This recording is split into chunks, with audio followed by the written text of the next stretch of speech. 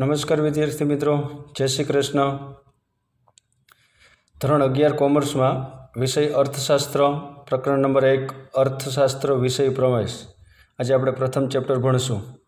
જેમાં પહેલો જ પ્રશ્ન જે આપણે અગાઉ ભણી ગયા છે, પણ રિવિઝન કરી લઈશું ફટાફટ. અર્થશાસ્ત્રનો અર્થ. અર્થ શબ્દનો સાદો અર્થ છે અર્થનું શાસ્ત્ર. યાદ રાખજો, અર્થશાસ્ત્રનો સાદો અર્થ છે અર્થનું શાસ્ત્ર. અને આ અર્થને સંસ્કૃત શબ્દ ઉપરથી આવ્યો છે. આ અર્થ શબ્દ રહ્યો ક્યાં શેના ઉપરથી આવ્યો છે? સંસ્કૃત શબ્દ પરથી આવ્યો છે. સંસ્કૃતમાં આ શબ્દના ઘણા બધા અર્થ છે. યાદ રાખજો, અર્થ શબ્દ છે કેમાંથી લીધેલો છે? સંસ્કૃતમાંથી લીધો છે. અને સંસ્કૃતની અંદર અર્થના પાછા અનેક અર્થ જોવા મળે છે.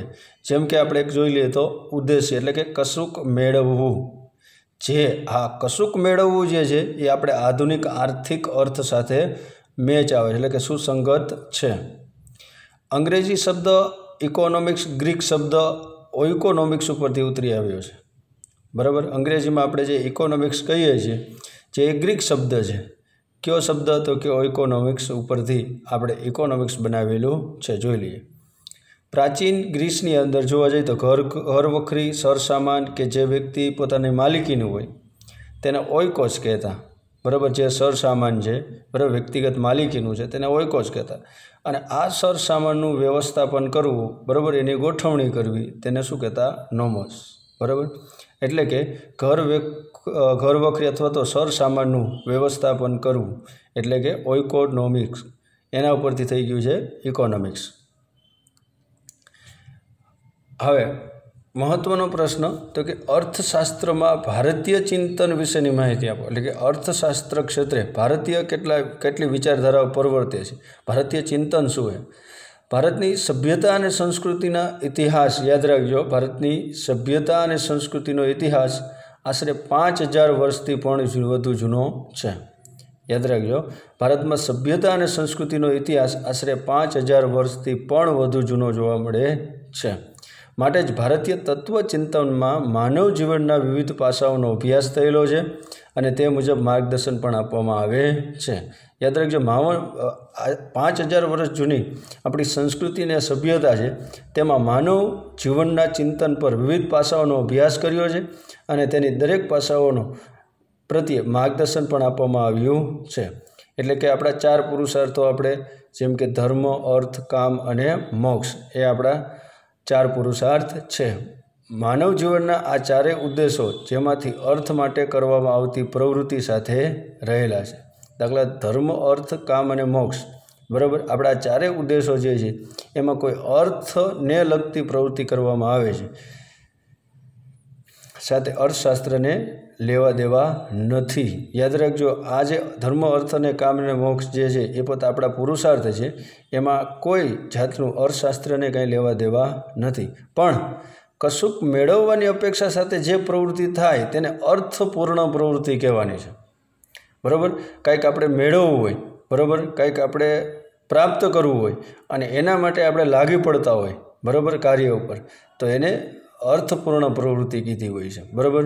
કોઈ એક વ્યક્તિ કારખાનામાં કામ કરે છે, તો એની પાછળ એનો અર્થ રહેલો છે કે ભાઈ એને રોજ મળશે અથવા તો પગાર મળશે, નાણાકીય આવકો પ્રાપ્ત થશે, તો એ અર્થપૂર્ણ પ્રવૃત્તિ કહેવાય. જીવન નિર્વાહ અને ભૌતિક સુખની પ્રાપ્તિ માટે અર્થોપાર્જન કરવું એટલે આવક મેળવવું, તે માનવનું કર્તવ્ય રહેલું છે. મનુષ્ય પોતાનું જીવન ટકાવી રાખવા માટે અને ભૌતિક સુખ સગવડો પ્રાપ્ત કરવા માટે અર્થોપાર્જન કરવું પડે છે, એટલે કે આવકો મેળવતો હોય છે. આ માણસનું કર્તવ્ય ગણાય છે. ફટાફટ આપણે રિવિઝન કરી લઈશું. ભારતમાં સભ્યતા અને સંસ્કૃતિનો ઇતિહાસ આશરે પાંચ હજાર વર્ષથી પણ વધુ જૂનો છે. માટે જ ભારતીય તત્વચિંતનમાં માનવ જીવનના જીવનના વિવિધ પાસાઓનો અભ્યાસ અને માર્ગદર્શન જોવા મળ્યું છે. ધર્મ, અર્થ અને કામ, મોક્ષ આ ચારે આપણા પુરુષાર્થ છે, જે માનવ જીવનના ચાર મુખ્ય ઉદ્દેશો હોય પણ તેને આર્થિક પ્રવૃત્તિ સાથે કોઈ લેવા દેવા નથી. એટલે કે અર્થશાસ્ત્રને તેમાં લેવા દેવા નથી. કશુંક મેળવવાની અપેક્ષા સાથે જો તમે કામ કરતા હોય તો તેને અર્થપૂર્ણ પ્રવૃત્તિ કહેવાય. જીવન નિર્વાહ અને ભૌતિક સુખની પ્રાપ્તિ માટે અર્થોપાર્જન કરવું એટલે કે આવક મેળવવી તે માણસનું કર્તવ્ય છે. આશરે પચીસો વર્ષ પહેલાં અર્થશાસ્ત્ર નામના પુસ્તકના લેખક એટલે કૌટલ્ય, જેનું બીજું નામ છે ચાણક્ય. યાદ રાખજો, પચીસો વર્ષ પહેલાં જે અર્થશાસ્ત્ર લખાણ બરાબર? અને એ પુસ્તકના લેખક હતા કૌટલ્ય. અને એનું બીજું નામ છે ચાણક્ય. તેમણે માનવીની આર્થિક પ્રવૃત્તિઓ માટેનું ચિંતન રજૂ કરેલું હતું. બરાબર? આર્થશાસ્ત્રની અંદર રાજનીતિક, આર્થિક અને માનવીની ચિંતન પ્રવૃત્તિ માટેની બાબતો રજૂ કરેલી હતી. આ સંદર્ભમાં કૌટલ્યમાં, કૌટલ્યના મતે મનુષ્યની વૃત્તિ અર્થ છે. બરાબર? આ અર્થશાસ્ત્રની દ્રષ્ટિએ જોવા જાય તો ચાણક્ય શું કીધું કે મનુષ્યની વૃત્તિ કેવી છે? અર્થ, મનુષ્ય વરસાદવાદી ભૂમિ અર્થ છે. તેથી પૃથ્વીના લાલન પાલનના ઉપયોગો દર્શાવતું શાસ્ત્ર એટલે અર્થશાસ્ત્ર.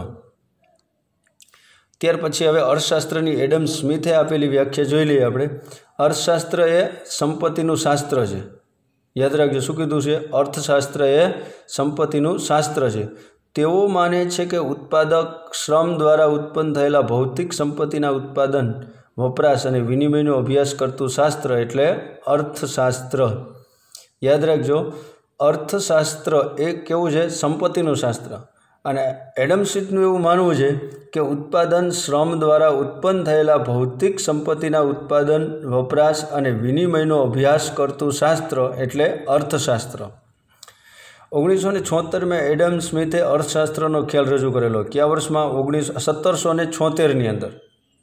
યાદ રાખજો સત્તરસો ને છોતેરમાં એડમ સ્મિથે અર્થશાસ્ત્રનો ખ્યાલ રજૂ કરેલો ને સામાજિક વિજ્ઞાનનો દરજ્જો પણ અપાવ્યો. કારણ કે તે એક બાજુ માનવીની આર્થિક પ્રવૃત્તિનો અભ્યાસ કરે છે, તો બીજી બાજુ તેની અભ્યાસ પદ્ધતિ પણ કેવી છે? વૈજ્ઞાનિક. એટલે એને સામાજિક દરજ્જો અર્થશાસ્ત્રને મળી જાય છે. એડમ સ્મિથે માનવીના આર્થિક વર્તનનો સ્વતંત્ર રીતે અભ્યાસ કરવાનું શરૂઆત કરેલું.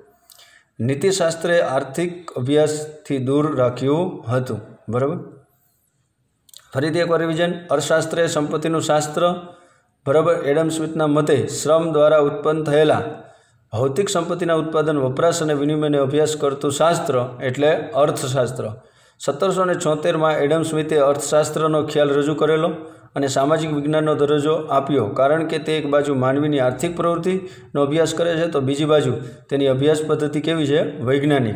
એડમ સ્મિથે માનવીના આર્થિક વર્તનનો સ્વતંત્ર રીતે અભ્યાસ કરવાનું શરૂ કર્યું અને નીતિશાસ્ત્રને આર્થિક અભ્યાસથી દૂર રાખે છે.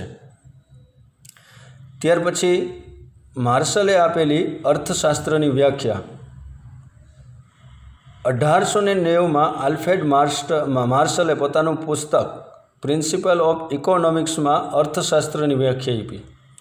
બરાબર? કયા વર્ષમાં? અઢારસો ને નેવુંમાં આલ્ફ્રેડ માર્શલે પોતે પુસ્તક લખેલું, પ્રિન્સિપલ ઓફ ઇકોનોમિક્સ તેમની અંદર અર્થશાસ્ત્રની વ્યાખ્યા આપતા કહ્યું, અર્થશાસ્ત્ર માનવીની રોજિંદા આર્થિક વ્યવહારોનો અભ્યાસ કરે છે અને માણસ ભૌતિક ચીજવસ્તુના વપરાશથી સુખાકારી મેળવવાનો કેવો પ્રયાસ કરે છે તેનું વિશ્લેષણ એટલે અર્થશાસ્ત્ર યાદ રાખજો, અર્થશાસ્ત્ર માણસની રોજિંદગીના, રોજિંદી આર્થિક વ્યવહારો, યાદ રાખજો, રોજિંદી જિંદગીના આર્થિક વ્યવહારો, અર્થશાસ્ત્ર જે છે, એ માણસની રોજિંદી જિંદગીના આર્થિક વ્યવહારોનો અભ્યાસ કરે છે અને માણસ ભૌતિક વસ્તુના વપરાશથી સુખાકારી મેળવવાનો કેવો પ્રયાસ કરે છે, તેનું વિશ્લેષણ કરે છે, તેનો અભ્યાસ કરે છે.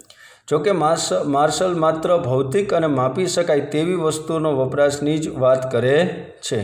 તેથી, આ વ્યાખ્યા ટીકાનો ભોગ બની છે. બરાબર? અર્થશાસ્ત્રની અંદર જે પોતાના પુસ્તકની અંદર આ વ્યાખ્યા આપી, માર્શલે, આલ્ફ્રેડ માર્શલે, તેમની અંદર માત્ર ભૌતિક વસ્તુ એટલે કે તેને માપી શકાય, જોઈ શકાય એવી જ વસ્તુની વાત કરેલી છે. એટલે આ વ્યાખ્યાને આપણે ટીકાકારી બને છે.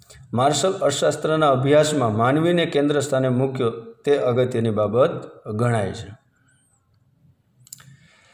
ફરીથી એકવાર રિવિઝન કરી લઈશું. અઢારસો નેવુંમાં આલ્ફેડ માસ્ટર માર્શલ પોતાના પુસ્તક પ્રિન્સિપલ ઓફ ઇકોનોમિક્સમાં અર્થશાસ્ત્રની વ્યાખ્યામાં કહ્યું કે અર્થશાસ્ત્ર માણસની રોજિંદી જિંદગીના આર્થિક વ્યવહારોનો અભ્યાસ કરે છે અને માણસ ભૌતિક ચીજવસ્તુના વપરાશથી સુખાકારી મેળવવાનો કેવો પ્રયાસ કરે છે તેનો અભ્યાસ, બરાબર, તેનું વિશ્લેષણ કરે છે.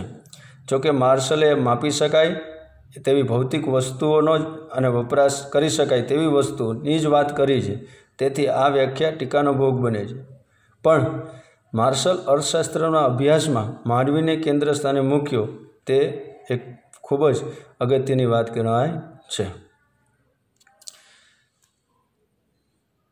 હિન્દ, જય ભારત.